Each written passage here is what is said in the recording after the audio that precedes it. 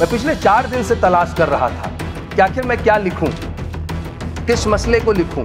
तो कुछ लिखने के लिए पेन चल नहीं पा रही थी। I am not really able to analyse कि किस मुद्दे के लिए मैं क्या लिखूँगा बैठ करके।